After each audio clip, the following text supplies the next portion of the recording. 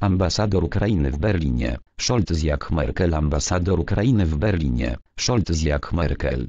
Opieszałość, brak odwagi i wyobraźni.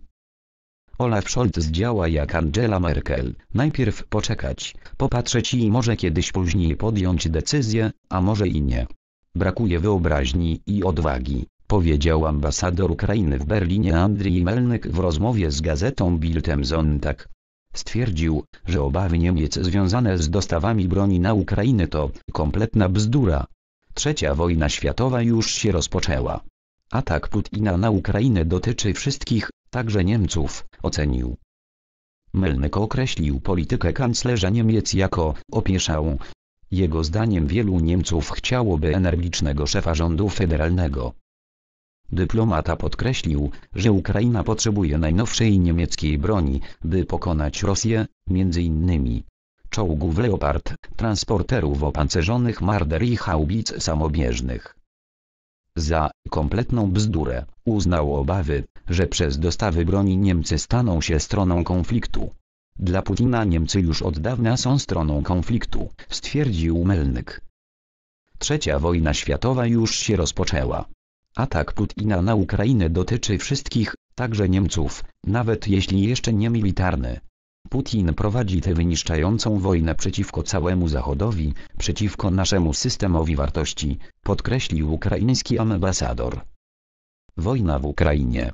Rosjanie ponoszą kolejne straty w ciągu ostatniej doby ukraińska obrona przeciwlotnicza strąciła 9 celów powietrznych, podał w niedzielę rano w podsumowaniu sytuacji operacyjnej sztab generalny ukraińskiej armii na swoim profilu w serwisie Facebook.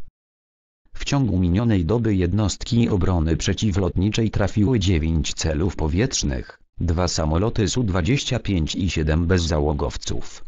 W samych obwodach donieckim i ługańskim w ciągu ostatnich 24 godzin odparto 9 ataków wroga, zniszczono 8 czołgów, jeden system artyleryjski, 24 bojowe wozy opancerzone, jeden pojazd specjalny i 5 pojazdów kołowych, czytamy w komunikacie.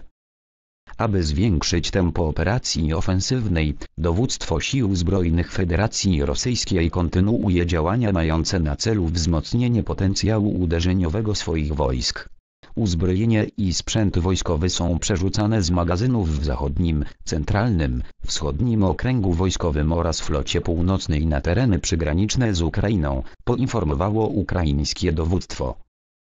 Inwazja na Ukrainę Działania ofensywne Rosjan Generalne Dowództwo Sił Zbrojnych Ukrainy poinformowało, że nieprzyjaciel prowadzi działania ofensywne na kierunkach Izum Barwinkowo oraz Izum Słowiańsk, gdzie przerzucono do 300 sztuk uzbrojenia i sprzętu i około 1000 żołnierzy.